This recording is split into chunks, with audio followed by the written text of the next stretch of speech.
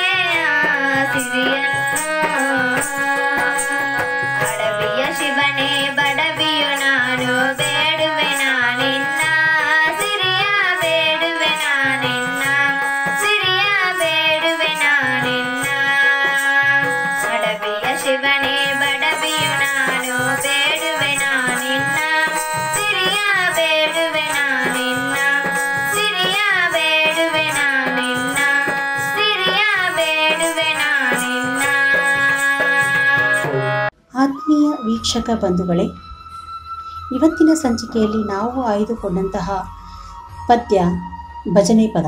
ನಮ್ಮ ದೇಸಿ ಕಲೆಗಳಲ್ಲಿ ಒಂದಾದಂತಹ ಈ ಭಜನೆ ಕಲೆ ನಮ್ಮ ಕುಮಾರಿ ವಿನುತಾ ಅವರು ಹಾರ್ಮೋನಿಯಂ ಸಾಥ್ ಜೊತೆ ಹಾಗೂ ಬಸರ್ಕೋಡ, ನಾಗರಾಜ್ ಬಸರಕೋಡ ಅವರ ತಬಲಾ ಸಾಥ್ನೊಂದಿಗೆ ತುಂಬ ಸುಲಲಿತವಾಗಿ ಮತ್ತು ಸುಗಮವಾಗಿ ಹಾಡಿ ತೋರಿಸಿದ್ದಾರೆ. ಇಲ್ಲಿ ಈ ಒಂದು ಭಜನೆ ಈಶ್ವರನನ್ನು ಬಣ್ಣಿಸಿ ಹೇಳಿದ್ದಾಗಿದೆ. ಈ ಭಜನೆಯಲ್ಲಿ ಆ ಈಶನನ್ನು ಆತ್ಮಸ್ವರೂಪಿಯಾದ ಈಶ್ವರನನ್ನು ಮಲ್ಲೇಶ ಎಂದು ಬಿಂಬಿಸಿದ್ದಾರೆ. ಇಲ್ಲಿ ಮನುಷ್ಯ, ಹುಲುಮಾನವ, ತನ್ನ ಒಂದು ಭಕ್ತಿ ಶಿವನನ್ನ ಒಲಿಸಿಕೊಂಡಂತಹ ಒಂದು ದಾರಿ ಹೇಗಿದೆ ಅಂತ ಹೇಳ್ತಾ ಇದ್ದಾರೆ.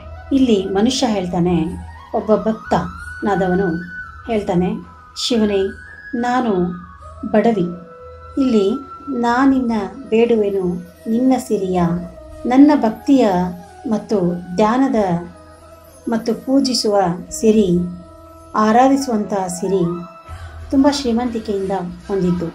ನಾನು ಬಡವಿಯಾದರೂ ಪರವಾಗಿಲ್ಲ. ನಾನಿನ್ನ ಜಪಿಸುವ ತಪಿಸುವ ನನ್ನಲ್ಲೇ ನನ್ನ ನಾನು ನನ್ನನ್ನು ಮರೆತು ನಿನ್ನಲ್ಲಿ ಒಂದಾಗುವ, ನಿನ್ನಲ್ಲಿ ಲೀನವಾಗುವ ನನ್ನ ಒಂದು ನಿಷ್ಕಲ್ಮಶವಾದಂತಹ, ನಿಸ್ವಾರ್ಥದಿಂದ ಹೊಂದಿರತಕ್ಕಂಥ ಒಂದು ಸೇವೆ ಏನಿದೆ, ಅದು ನಿತ್ಯಾನಂದವಾದದ್ದು. ನನ್ನ ಒಂದು ಸಿರಿವಂತಿಕೆ ನನ್ನ ಮನಸ್ಸಿನಿಂದ ಕೂಡಿದ್ದು ನಾನು ಬಡವಿ, ಆದರೆ ನಿನ್ನಿಂದ ಜ್ಞಾನವನ್ನು ಮತ್ತು ನಿನ್ನಿಂದ ಆ ವೈರಾಗ್ಯವನ್ನು ಪಡೆಯುವುದಕ್ಕೋಸ್ಕರ ನೀನು ಹೇಳಿದಂತೆ ನಾನು ನಡೀತೀನಿ, ನೀನು ನಡೆಸಿದಂತೆ ನಾನು ನುಡಿತೀನಿ. ನೀನು ಧ್ಯಾನಾಸಕ್ತನಾಗಿದ್ದಾಗ ನಿನ್ನ ಮೌನದಲ್ಲಿ ನಾನು ಸಿರಿಯನ್ನು ಕಂಡೆ, ನಿನ್ನ ಏಕಾಂತದಲ್ಲಿ ಸಿರಿಯನ್ನು ಕಂಡೆ. ನಿನ್ನನ್ನು ನೋಡುವ ಆ ಸಿರಿಯಲ್ಲೇ ಪರಮಾನಂದ ಅಡಗಿದೆ. ನಿನ್ನ ಸ್ತ್ರೀರಕ್ಷೆಯೇ, ನಿನ್ನ ಪ್ರೀತಿಯೇ ನಮಗೆ ಆತ್ಮರಕ್ಷಣೆ. ನೀನಿಟ್ಟಂತೆ ನಾನಿರುವೆ. ನಿನ್ನಲ್ಲಿ ನಾನು ತುಂಬ ಸಂತೋಷದಿಂದ ಲೀನವಾಗುವಲ್ಲಿ ನಾನು ಸಫಲಗೊಂಡಿದ್ದೇನೆ. ನನ್ನ ಪೂಜೆ ತುಂಬ ಸಿರಿವಂತಿಕೆಯಿಂದ ಹೊಂದಿದ್ದು ಅಂತ ಇಲ್ಲಿ ಈ ಮಗು ಹಾಡಿನ ಮೂಲಕ ಭಜನಾ ಪದದಲ್ಲಿ ಹೇಳ್ಕೊಂಡಿದ್ದಾರೆ. ಮನುಷ್ಯ ಮತ್ತು ದೇವರ ಒಂದು ಭಕ್ತಿ ಮಾರ್ಗ ಯಾವ ರೀತಿಯದ್ದಾಗಿರುತ್ತೆ? ನಾವು ನೀಡುವಂತಹ ಶ್ರದ್ಧೆ ದೇವರಿಗೆ ಹೇಗಿರಬೇಕು ಅಂತ ತುಂಬ ಸೂಕ್ಷ್ಮವಾಗಿ ಇಲ್ಲಿ ತಿಳಿಸಿಕೊಟ್ಟಿದ್ದಾರೆ. ಧನ್ಯವಾದಗಳು.